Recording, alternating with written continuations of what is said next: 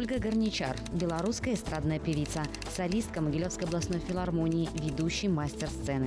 Родилась 23 февраля 1980 года. Окончила музыкальную школу Могилевский государственный университет имени Аркадия Кулешова. Ольга Горничар – лауреат республиканских и международных музыкальных конкурсов и фестивалей, художественный руководитель продюсерского центра «Ступени», педагог по эстрадному вокалу.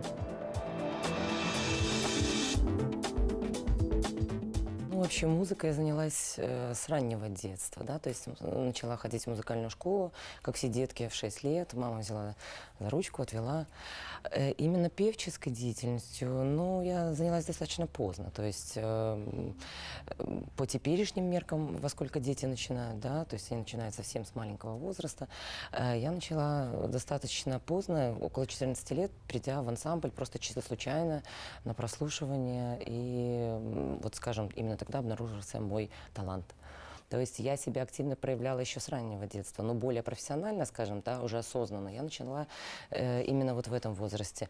Чувства, ну, какие чувства? Ну, какого-то удовлетворения, естественно, то, что я дарю людям радость, то, что я, э, ну, я надеюсь, что я дарила в тот момент радость, потому что, конечно, профессионально это были только, только такие первые, скажем, шаги. Поэтому, ну, для меня лично, вот, э, я поняла в тот момент, что это было э, радость, радость и, и что я хочу дальше продолжать этим заниматься. Первая песня сольная на сцене это была э, школьный аппарат Таня Овсиенко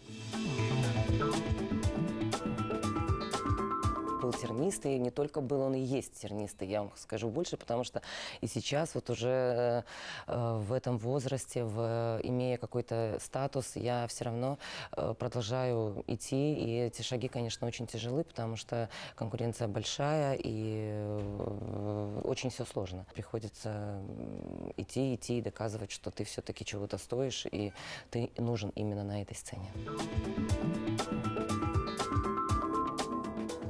Конечно, зритель. Если я вижу улыбку, если я вижу эти горящие глаза, если я вижу, что хоть кому-то одному я э, симпатична и меня воспринимают именно э, положительно, то значит я на сцене не, не случайно, а это мое предназначение. Если я приезжаю в агрогородок или я выступаю, например, на э, какой-то большой-большой сцене, для меня зритель везде одинаков. Мне главное суметь донести то, что я хочу донести, и главное, чтобы я была услышана. Прежде всего, конечно, это текст песни, музыка песни самой, да, это аранжировка обязательно, э, грамотная, вкусная, интересная. Это смысл, который заложен в песне, э, ну и, безусловно, донесение ее, то есть ее прочтение. Насколько артист может ее донести до зрителя. Но...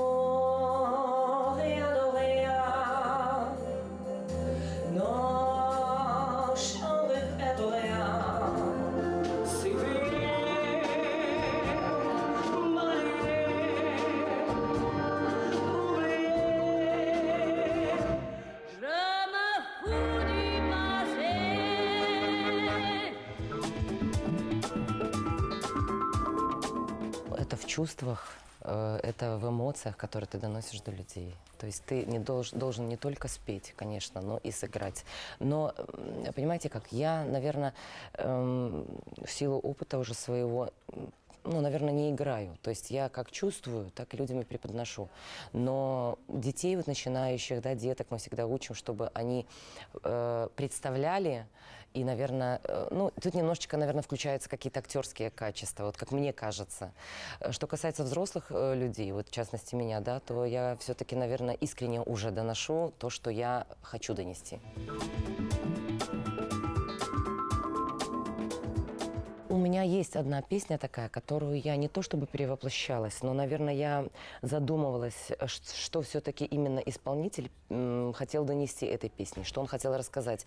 И я, наверное, просто эту песню перекладывала на свой творческий, э, свою творческую жизнь, на свой творческий путь. Именно вот мой путь э, песня Франка Синатра, да, которая стала для меня, наверное, одной из самых значимых э, песен. И в этой песне Франк Синатра э, хотел именно сказать что-то о своем творческом пути. Я, соответственно, когда исполняю эту песню, хотела сказать что-то о своем творческом пути.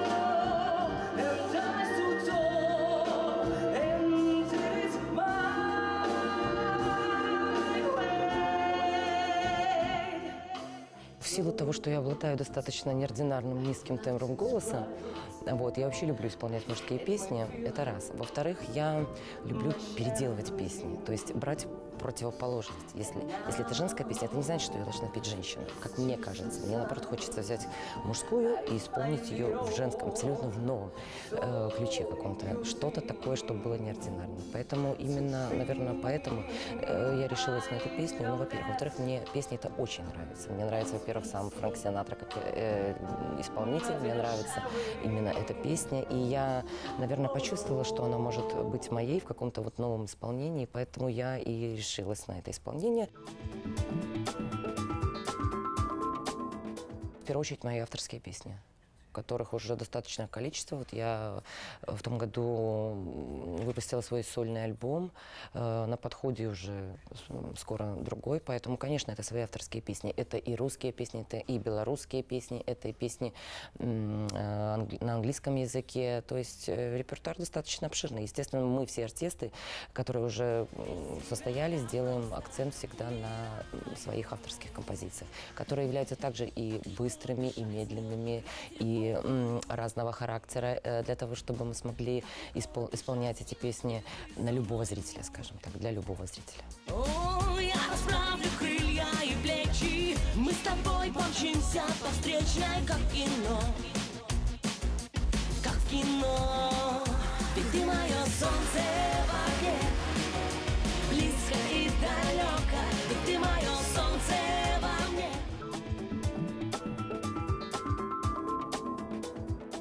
Сложно, во-первых, эмоционально для меня, вот лично в эмоциональном плане, потому что ты переживаешь, ты волнуешься, ты думаешь так, а что получится, что не получится, эм, сможешь ли ты донести это до зрителя. Э, ну, вы знаете, э, это волнительно, да. Но вот лично у меня волнение проходит спустя, наверное, 10-15 секунд, как я только вышла на сцену, все. Потом ты полностью растворяешься в этой музыке, полностью растворяешься в своем выступлении, полностью видишь глаза э, зрителя и забываешь про все. Есть много исполнителей, которые мне симпатичны, есть много кто мне симпатичен там по эм, вокалу, есть много кто мне нравится по песням. Но чтобы вот сказать кого-то одного назвать, я, честно, затрудняюсь. Я вообще стараюсь никому не подражать, я просто стараюсь у кого-то взять что-то, наверное, эм, полезное, может быть. Эм, ну, нет такого исполнителя, которому бы сказала, все, хочу быть так, как, вот как он. Нет. И другое. Ну, потому что э, первоначально, когда я делала свои первые шаги, у меня, безусловно, за плечами там было... Э, я имею в виду э, первые шаги именно уже профессиональные, э, на профессиональной сцене. У меня, безусловно, было очень много э, фестивалей, благодаря которым я накопила свой именно творческий опыт, э, благодаря которым я м, стала больше уметь, знать.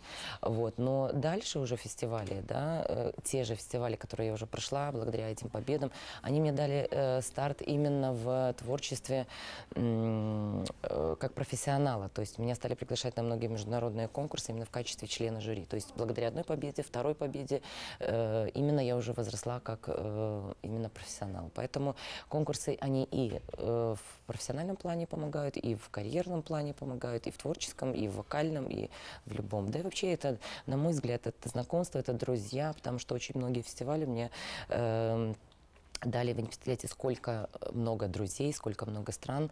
Благодаря этому я общаюсь, я живу, я развиваюсь, и я в тренде вообще, что происходит в мире и где и как.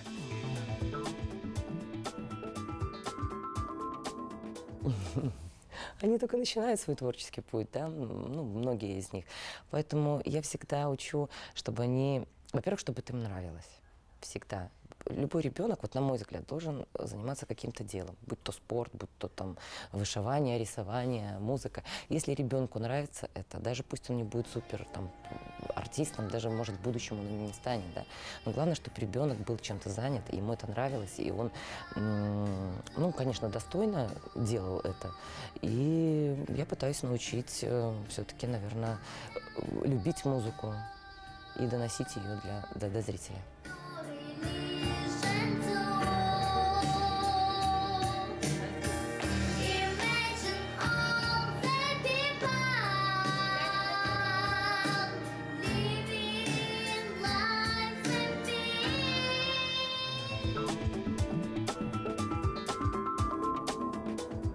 У меня не было музыкальных ни мамы, ни папы, ни дедушки. Ну, все мы, конечно, э, родственники пели за столом, громко, красиво.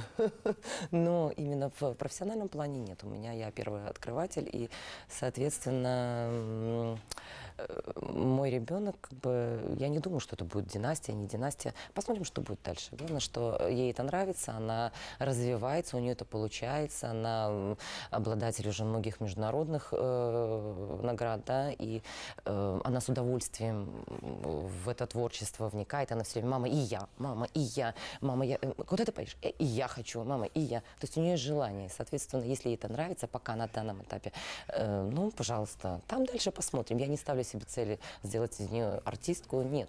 Дети наши свойственно выбирать то, что им нравится, поэтому я всегда приму с любым, э, любой ее выбор с большим удовольствием. День за днем одни заботы Жизнь бывает нелегка Но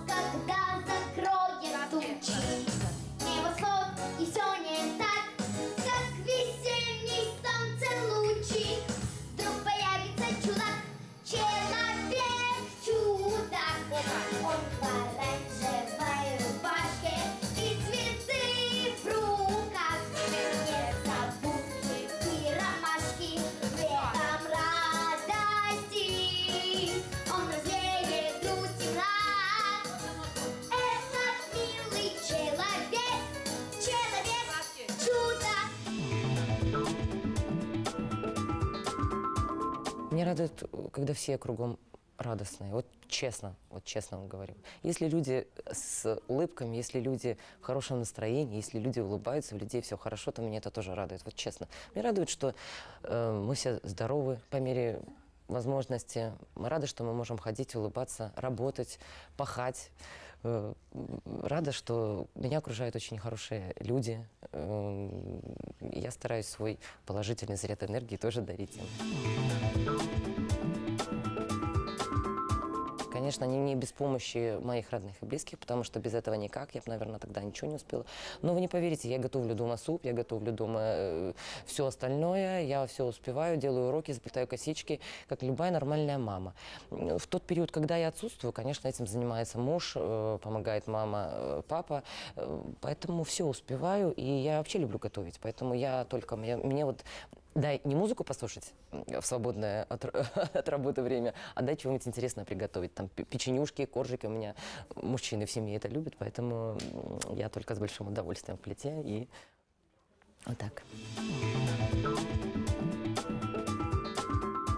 Порой ее так открываешь, что думаешь, а хватит ли ее на всех вообще? Ну, конечно, а как без души?